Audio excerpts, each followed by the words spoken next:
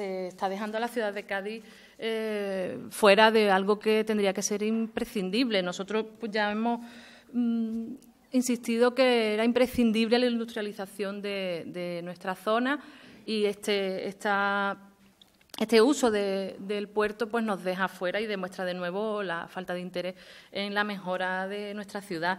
Mm, nosotros defendemos la creación de un eje Algeciras, Sevilla, Cádiz, Huelva. Además, nos parece que, el puerto de Sevilla no puede recibir grandes buques, es decir, de manera estratégica tampoco entendemos la decisión.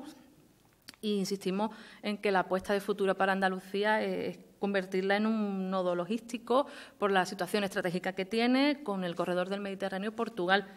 Mm, lamentamos la decisión y lo que hemos dicho ya en, otro, en otros medios, es que la Junta de Andalucía y el Gobierno nos tengan más presentes, eh, tengan en consideración a, nuestra ciudad y a, esta región que necesita, sí o sí, pues el que se le tenga en cuenta y insistiendo en, además en la situación estratégica en la que estamos. Es decir, no, no nos parece que aún, eh, más allá de, de tener en consideración una ciudad u otra, estratégicamente estamos mejor posicionados.